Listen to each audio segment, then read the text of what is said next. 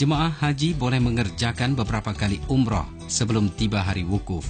Mereka hendaklah pergi ke Tanaim, tempat mikot umroh yang terletak 5 km dari Masjidil Haram. Haji terbagi tiga, yaitu pertama haji ifrat, kedua haji tamatuk,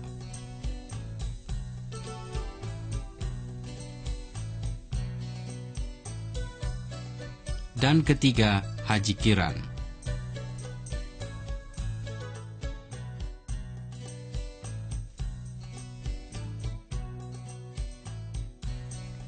Mengerjakan sesuatu ibadah dengan sempurna adalah harapan setiap orang. Sehubungan itu, jemaah haji perlulah mendalami setiap perkara dalam ibadah haji untuk memperoleh kenikmatannya.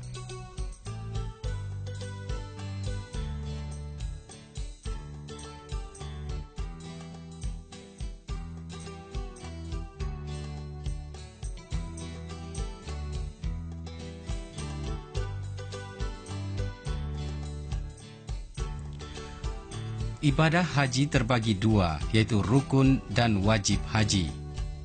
Rukun haji adalah ibadah dasar yang harus dilakukan oleh setiap jemaah.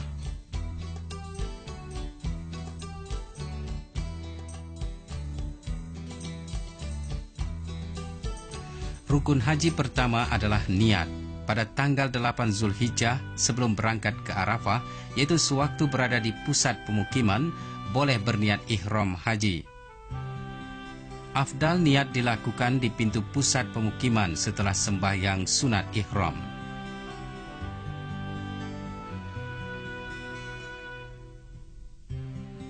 Rukun kedua ialah wukuf di Arafah.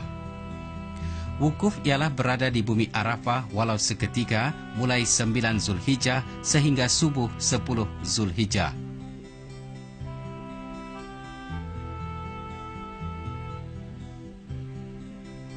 Semasa wukuf, jemaah disunatkan berzikir, berwirid, dan lain-lain. Rukun ketiga haji ialah tawaf di Baitullah. Setelah berwukuf di Arafah, jemaah wajiblah melakukan tawaf rukun atau tawaf ifadah setelah kembali dari Arafah. Rukun haji yang keempat ialah sa'i. Sa'i ialah berjalan di antara Safa dan Marwah sebanyak tujuh kali pulang pergi antar keduanya. Bagi yang tidak berkemampuan, sa'i boleh dilakukan dengan menaiki kereta dorong. Ketika melakukan sa'i, jemaah haji tidak perlu berwudu, hanya sunat dilakukan. Rukun haji yang kelima ialah bercukur, yaitu menggunting sedikit rambut sekurang-kurangnya tiga helai. Rukun haji yang terakhir ialah tertib pada kebanyakan rukun. Tertib di sini bermaksud rukun haji harus dilaksanakan mengikut urutan.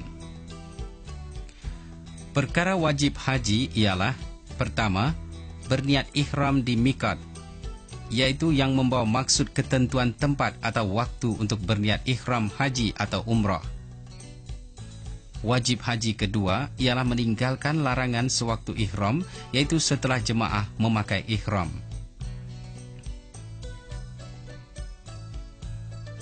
Wajib haji yang ketiga ialah bermalam di Musdalifah.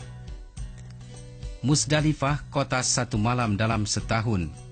Di sini jemaah haji diwajibkan menginap walaupun seketika. Ketika ini jemaah masih dalam keadaan ihram.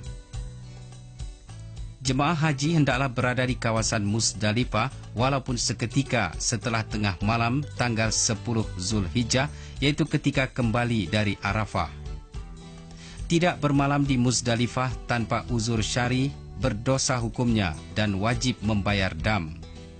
Sewaktu berada di sini, jemaah haji disunatkan memungut anak batu untuk melontar jumrah. Wajib haji keempat ialah melontar Jumratul Aqabah.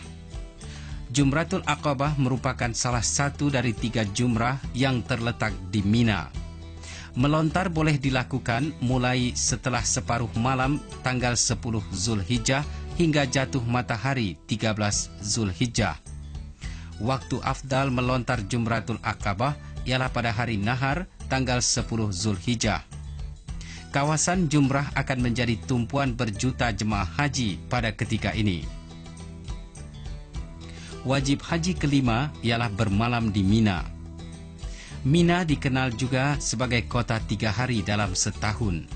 Di sini, jemaah haji diwajibkan menginap selama tiga malam pada hari-hari tasyrik, yaitu malam 11, 12, dan 13 Zulhijjah.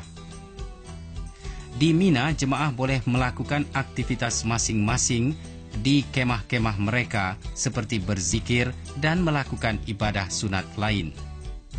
Wajib haji yang terakhir ialah melontar tiga jumrah. Pada hari-hari tasyrik diwajibkan pula melontar ketiga-tiga jumrah, dimulai dengan jumrah ula, jumrah wusta, dan diakhiri dengan jumrah akabah.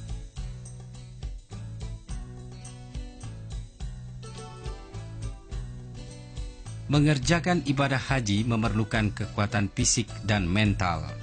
Persiapan kedua aspek ini perlu ada sejak mendaftar